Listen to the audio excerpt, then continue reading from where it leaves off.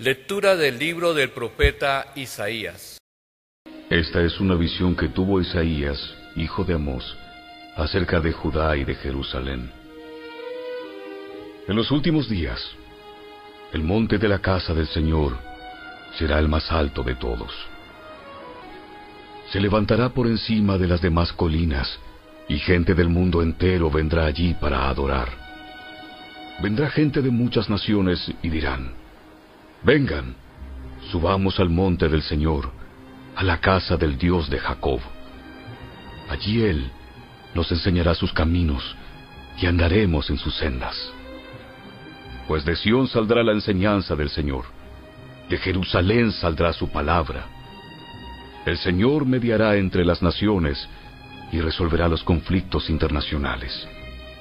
Ellos forjarán sus espadas en rejas de arado, y sus lanzas en herramientas para podar. No peleará más nación contra nación, ni seguirán entrenándose para la guerra. Vengan descendientes de Jacob, caminemos a la luz del Señor.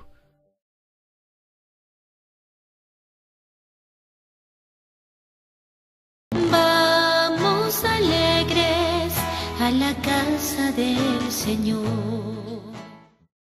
Qué alegría cuando me dijeron, vamos a la casa del Señor. Ya están pisando nuestros pies, tus umbrales Jerusalén. Vamos alegres a la casa del Señor.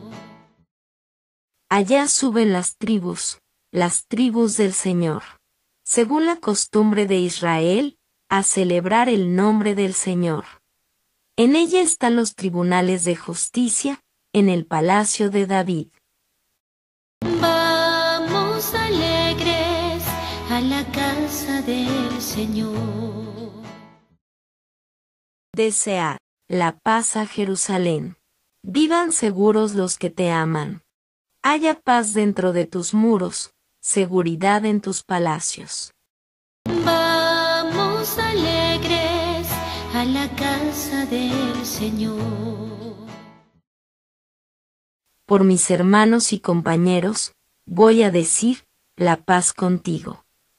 Por la casa del Señor, nuestro Dios, te deseo todo bien. Vamos alegres a la casa del Señor. Lectura de la carta del apóstol San Pablo a los romanos. Hermanos, comportaos reconociendo el momento en que vivís, pues ya es hora de despertaros del sueño, porque ahora la salvación está más cerca de nosotros que cuando abrazamos la fe. La noche está avanzada, el día está cerca. Dejemos, pues, la obra de las tinieblas y pongámonos las armas de la luz. Andemos como en pleno día con dignidad.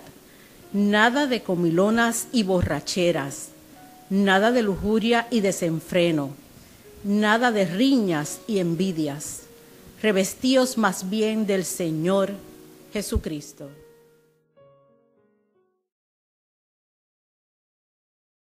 Evangelio según San Mateo. En aquel tiempo Jesús dijo a sus discípulos, Como en los días de Noé, así será la venida del Hijo del Hombre. Como en los días anteriores al diluvio, que comían, bebían, tomaban mujer o marido, hasta el día que Noé entró al arca, y no se dieron cuenta hasta que vino el diluvio, y los arrastró a todos.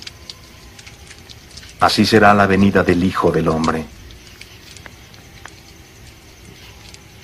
Estarán dos hombres en el campo. Uno será tomado y el otro dejado. Dos mujeres estarán moliendo en el molino.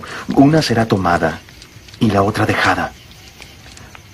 Por tanto, velad, porque no sabréis en qué día vuestro Padre vendrá. Entendedlo bien. Si el dueño de casa supiese a qué hora de la noche iba a venir el ladrón, estaría en vela y no permitiría que le horadase en su casa. Por eso también nosotros, estar preparados, Porque el Hijo del Hombre vendrá en el momento que no penséis.